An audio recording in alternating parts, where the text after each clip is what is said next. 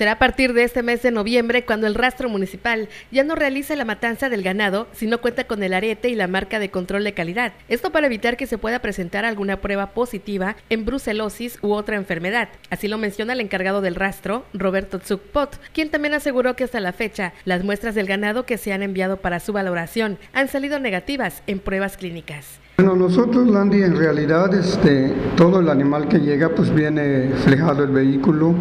y tiene que pasar por dos casetas. En el vecino estado de Yucatán, uno en el Yucatán y uno en Quintana Roo, la cual pues nos garantiza que llegan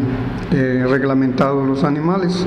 pero pues se ha decretado en, a nivel estado por el Comité de Movilización Ganadera eh, de que a los animales que entren en el rastro, que no traigan los aretes eh, con las siglas SINIGA, pues no, no lo podremos sacrificar nosotros como administradores y trabajadores de rastro. Tenemos que tenerlo en un corral en observación. Se supone que este objetivo es para ir combatiendo el abigeato que existe tal vez en algunos municipios del estado, tanto como en el estado de Yucatán. Aquí en Cozumel, sin embargo, se han recibido ese tipo de animales y que cuenten con ese logotipo y el arete.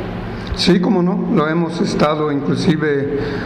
eh, archivando o remitiéndolo junto con los muestreos que el médico veterinario realiza día a día aquí en el rastro, que en estos momentos también están apoyando al comité de movilización para que todo Cozumel esté ya sangrado, como ellos le llaman a sus animales, y a la vez implementado los aretes antes mencionados para que en un momento algún ganadero cozumeleño quiera vender su, su animal para el producto cárnico, pues no tengamos que, este, no haya obstáculos, vaya, para poder sacrificarlo o procesarle su animal en el rastro.